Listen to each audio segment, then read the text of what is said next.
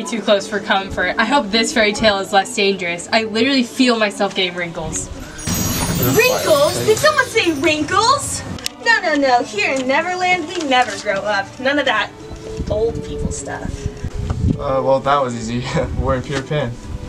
Yep, that's me. I just learned two new tricks how to jump through a window, wanna see? We wish we could stay and watch, but we have to get back to DV. Do you know the quickest way to get to our next fairy tale? I know just the person for that. She loves adventures like these. Oh, Tinkerbell!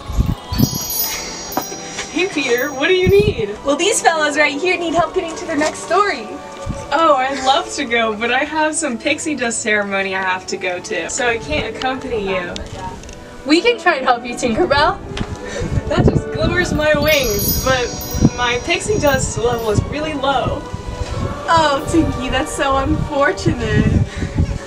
Do you have anything that could help me boost my pixie dust level? Dude, Sarah, what are we gonna do? My lunch is all the way back at DV. I guess we're gonna have to find another way. Sorry, Tiki, we don't have anything. Oh wow, this book really is magical. Here you go, Tinkerbell.